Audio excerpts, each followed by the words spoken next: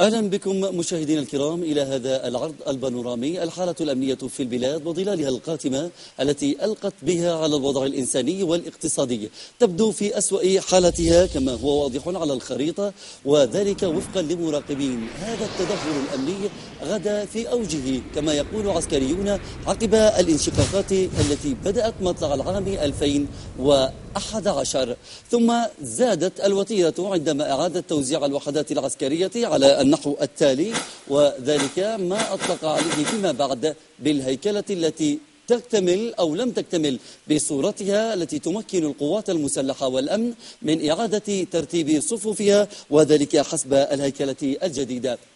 تبعات التراجع الأمني والأداء انعكست بشكل واضح على الوضع الداخلي في البلاد وذلك من تراجع الاستثمار وتدهور الاقتصاد الذي تسبب بالكثير من المشاكل لمختلف القطاعات والمؤسسات الخدمية على وجه التحديد. ذلك حيث كان للأمن بالغ الأثر والتأثير. على سبيل المثال لا الحصر فقد فقدت الدولة سيطرتها على بعض المناطق كما تشاهدون في أجزاء من صعدة وأبيان والضالع. واستغلت فيها غياب الأمن لترتفع حدة المواجهات والصراعات القبلية التي لا تزال تحتدم بين الحين والآخر.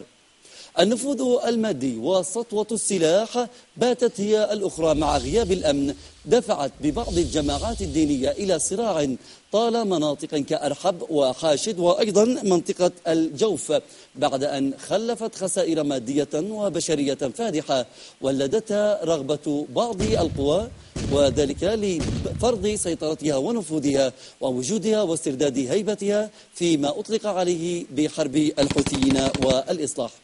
وقبل ذلك ما دار في دماج ووضع تساؤلات عن ماهية هذه الحرب بالوكالة بين السلفيين والحوثيين في منطقة دماج والتي ذهب ضحيتها الكثير من المواطنين الأبرياء. ويقول البعض أنها مذهبية بامتياز. الأمر الذي نفاه الحوثيون وانتهت بتهجير السلفيين من منطقة دماج.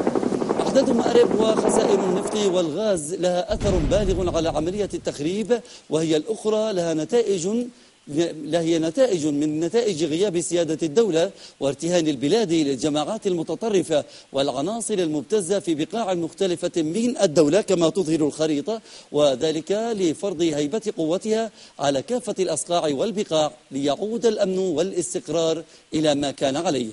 الجيش والأمن غابا غيابا فعليا وكليا في الكثير من الإشكاليات والنزاعات الفردية والجماعية على مختلف الصعد وفي شتى أيضا التشكيلات القتالية والأمنية والخدمية ليس فقرا في معداتها أو قلة في إمكانياتها بل سوءا في إدارتها ظهرت علنية وبشكل ملموس أمنيا سياحيا وأيضا اقتصاديا وهذا ما أكدته أحداث كثيرة وتقارير إنسانية وأمنية وأيضا حقوقية.